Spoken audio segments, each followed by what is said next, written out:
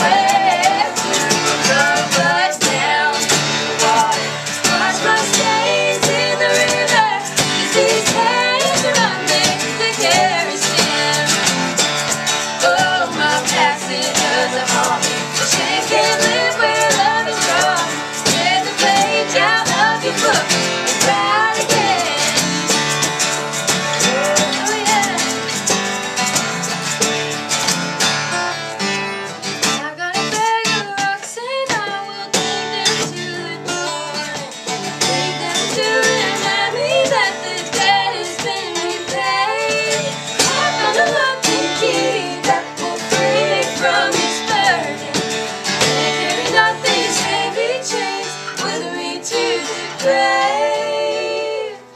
sorry. Oh, yeah. So take me